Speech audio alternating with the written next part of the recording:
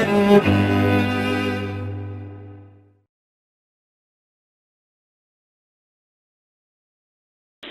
and welcome to Waitemata District Health Board. Please note the extension.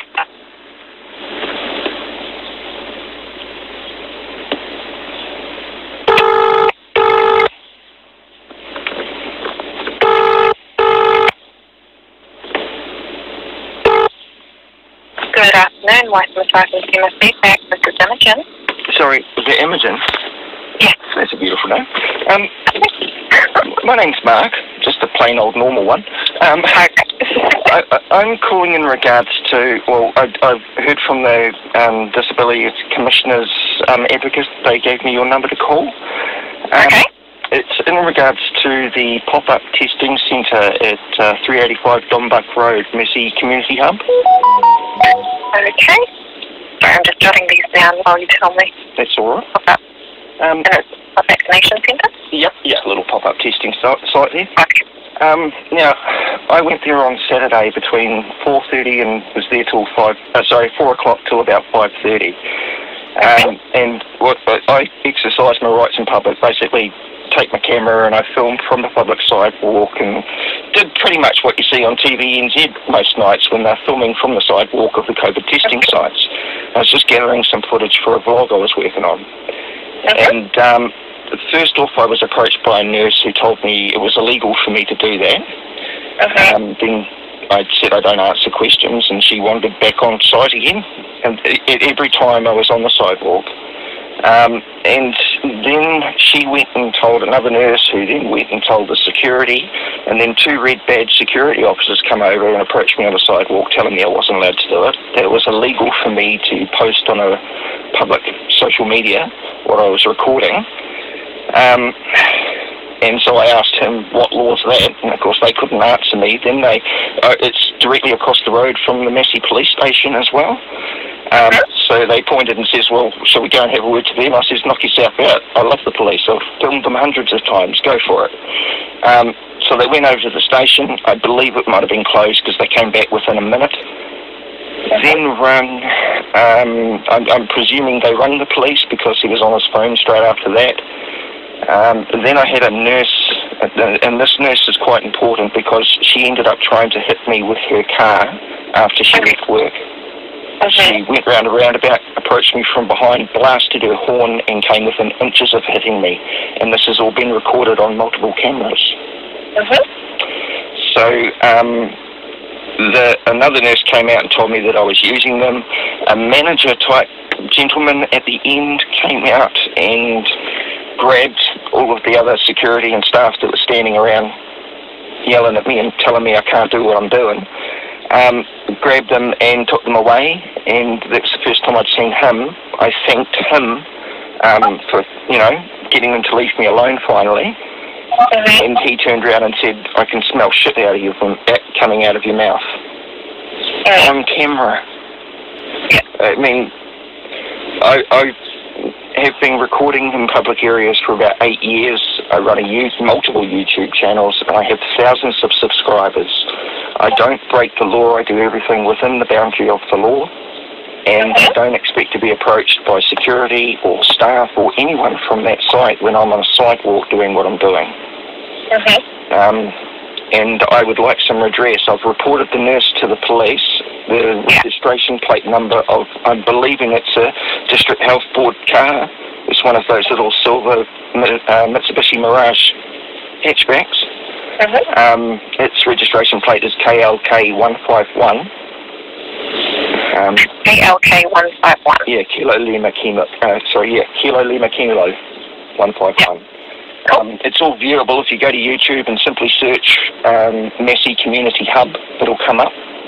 Mhm. Um, and the whole recording, the synchronization of all. Like at one time, I had five cameras running. My car was also recording from a distance because I like to have something, you know, for a bit of security at the back, just in case something happens to me.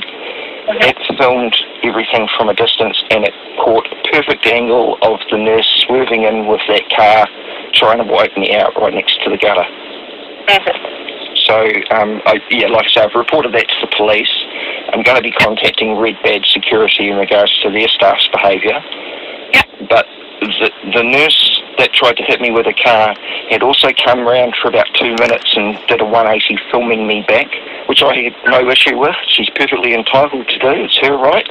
Um, I smiled and waved for a camera. Um, she wandered off about two minutes later, but it was that nurse that was driving the car, driving the car because she was the only um, slender, short, um, aged Pol- uh, Polynesian woman that was there with a dark black hat on with a full rimmed hat. All the rest were in completely different gear. She was definitely in blue scrubs. So what can be done? So what we can do for you today is our role is to help you put all of this together and then we will send that through to the service Mhm. and it's each service's responsibility to then investigate and respond to you within 14 days and if they can't do it within 14 days they'll be in touch to let you know of that delay. Does that sound alright? Yeah, that, that sounds fine. I mean, I'm going to be going back um, in a week or so just to see if the staff behave themselves next time round and see if there's been re-education happening. Um, but yeah, they really picked the wrong person to do that too. Mm. So I've, I've um, kind of noted down what we've been talking about and I'll, I'll Mhm. write that up Well, for it's, you. it's all on the video. Like I say, it's it's publicly available.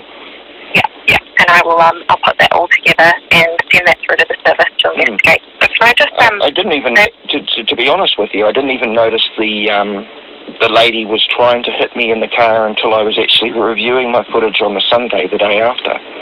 yeah, And Yeah. it was when I saw my car dash cam footage, it showed me just exactly what she did. Because I just thought it was a car being an idiot tooting as they were driving past.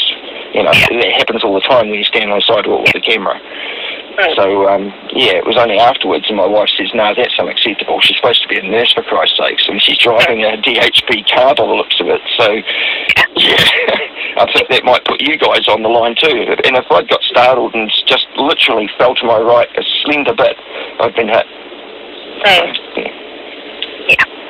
Okay, well I will put this all together for you. Can I just grab your details that um yeah. So can I grab your full name? Sure, it's Mark Keen, K-W-E-N, PWE. is keen on public photography. Um, can I grab your phone number? sure, it's uh, 027 Mm-hmm. 523 Mm-hmm. 0566. Fantastic. And can I get your email address? Sure, it's um, CKA, as in commonly known as Mark, M-A-R-K, Mm-hmm. then O-T-H-O, is in Oscar Tango Hotel Oscar. So then last name K-E-E-N at gmail.com. YouTube channel's the same. So just to confirm, that was C K A Mark O T H O Keen at gmail.com. That's correct. I grab your date of birth? Um, Mum tells me, I was there, but honestly can't remember. So, Mum tells me it was the 6th of July 1972, but then she also told me Tooth Fairy existed and the Santa was real. So, you know, it's a bit difficult to believe her after that. She's got dementia now, so I can't ask her even if I wanted to. You know. Cool. So it's 6th of July 1972. Still a lovely woman, though. Yeah, yeah. Um, do you by chance know your NHI number? My NHI number is AYH, as an Alpha Yellow Hotel, Mm-hmm. um, 6698. 6698? Yeah, I'm over on the North Shore next week having surgery. Oh. Um, cool. And that was just to confirm, that was the pop-up testing station on Dun- Don Buck Road. Uh, yes, 385 Don Buck Road. It's called Massey Community Hub. Or Triangle Road Park. It had a few different name tags all over it. Yeah. Cool. Well, now that I've got all that, I can go away and I will put this all together and send it through to the. And I'll also send you a um, confirmation email just acknowledging this phone call and that I've sent everything through. Does that sound alright? That sounds absolutely fantastic. Thank you so much. It's actually good to have someone finally wanting to do it because, oh, it took me three hours on on Monday and I just gave up after three hours. There was no point. So, Well, thank you for taking the time to call through. that's all right. Thank you. You have an awesome Christmas, eh? Oh, you too. Always. Bye. Bye now.